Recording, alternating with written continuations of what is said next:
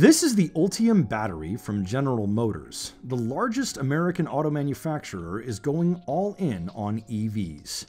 General Motors, we believe in an all electric future. Uh, we're working to a goal where we have zero crashes, zero emissions, and zero congestion. GM CEO Mary Barra believes the company will dominate the U.S. market. We're going to be number one mid decade in EVs in the U.S. And this is the battery technology that is going to take it there.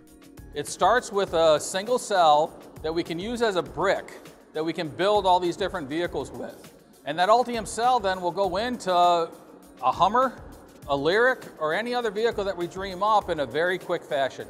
GM plans to invest $35 billion in electric and autonomous vehicles by 2025.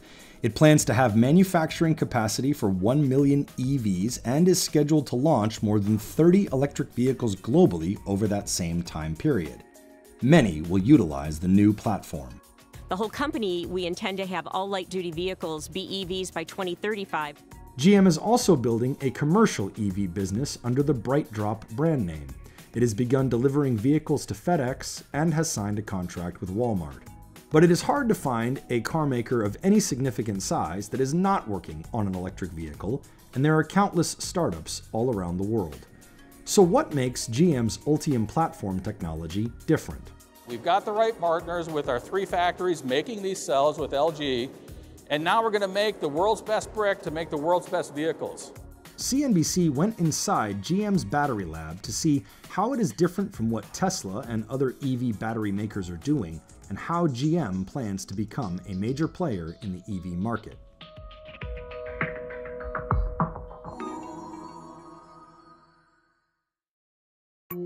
What we have here is a lithium ion battery. And this is our large format lithium ion battery that powers all of these vehicles. Tim Grewe is the General Director of Electrification Strategy and Cell Engineering at General Motors. GM unveiled its Ultium platform in March of 2020. It is a whole new architecture for electric vehicles. It encompasses new battery designs, new motors, platforms, and even new software for electric vehicles. We're at what we call the Estes Development Center, where basically we bring all the ingredients for Ultium together and we make sure that they work properly together and as individual components. GM partnered with the battery cell manufacturing giant LG Energy Solutions to develop the Ultium battery. The partnership is opening three battery factories across the United States between 2022 and 2024 one in Ohio, one in Tennessee, and one in Michigan. For the first time, we've got a single Ultium cell that can be the foundational brick to build all of these vehicles together. And with that, we're scaling it. GM has already teased, unveiled, announced, or begun producing several fully electric vehicles using the Ultium platform. The GMC Hummer pickup and Hummer SUV, the Cadillac Lyriq premium SUV and Celestiq sedan, the Chevrolet Silverado EV full-size pickup truck, the Chevrolet Blazer, and a fully electric version of the Corvette. Battery technology is complex, but a battery generates electricity through a chemical reaction. A battery is made up of an anode, a cathode, a mix of chemicals that separates the anode and cathode, and an electrolyte. When the battery is discharging, i.e. generating electricity, ions move from the anode end to the cathode end. When charging, ions move in the opposite direction. The positive and the negative have these nice, I call them parking garages, right, where you can store the lithium.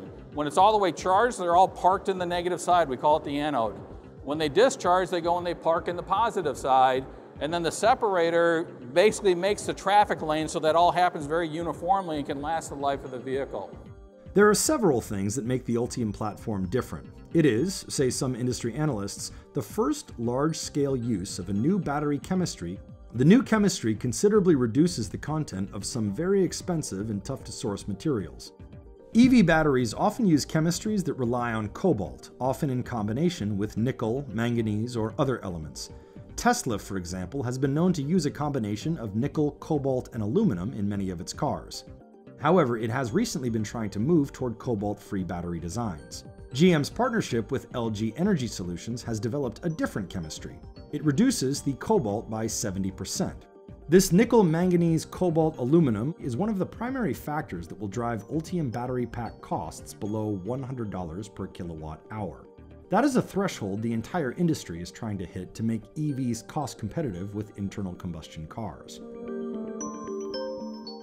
GM has also taken the unusual step of developing a new battery management system that manages the battery at a more granular level than others. Most battery management systems, including Tesla's, work at the pack level. GM's system manages the battery at the level of individual modules. This will allow GM to replace parts of a battery pack bit by bit over time if needed, rather than replacing the whole pack at once. It also means GM doesn't need to stock old battery parts.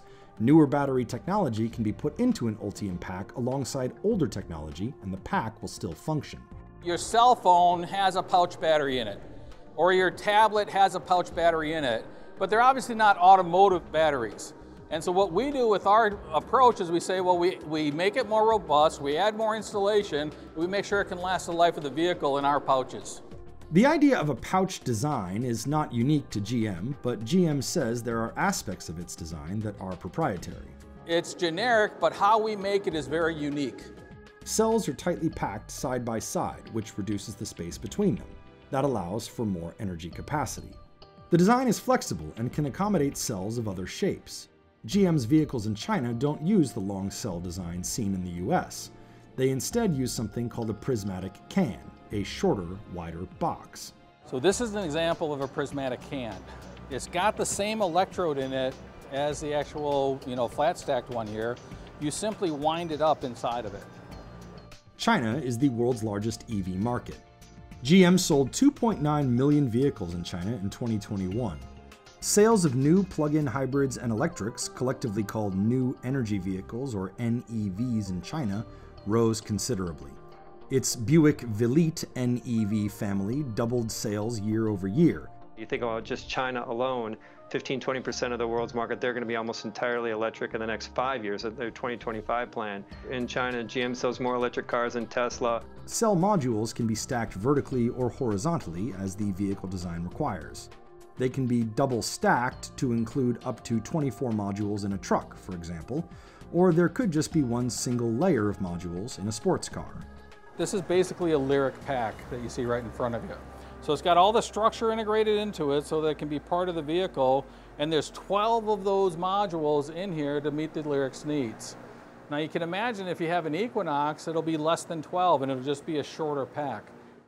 An Ultium battery pack can provide up to 450 miles of range on a charge at a quarter of the weight and about 40% of the cost of GM's previous battery designs. A vehicle with 450 miles on a single charge would place among the longest range vehicles available in the United States.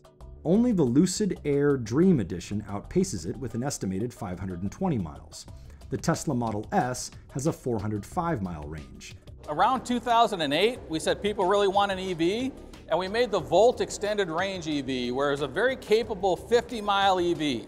2016, we came out with the Bolt EV, which was a 238 mile EV the Volt extended range made it possible. The Bolt EV in 2016 made it practical. You could use the car. And now with things like the Hummer and the Lyriq, it's preferred. If GM's Ultium battery pack does have a per kilowatt hour cost of less than $100, that would put it in territory competitors have not been able to reach. That's still the, the target that everybody's uh, trying to get to is under $100 per kilowatt hour. Tesla's been under $100 a kilowatt hour at the cell level for a while now uh, because they use those cylindrical cells and, and they're, they're cheaper to make. But the way they make their, their pack is more complex. So that offsets some of that uh, savings on the cell. These batteries will all be powering Ultium Drive electric motors, which GM unveiled in September 2021. The first vehicle the system will be featured on is the GMC Hummer. General Motors was the first automaker to make a serious attempt at a mass market EV. Its EV1 was only available for lease in limited numbers in the late 1990s. Its first fully electric vehicle after that was the Chevrolet Bolt, first introduced for the 2017 model year.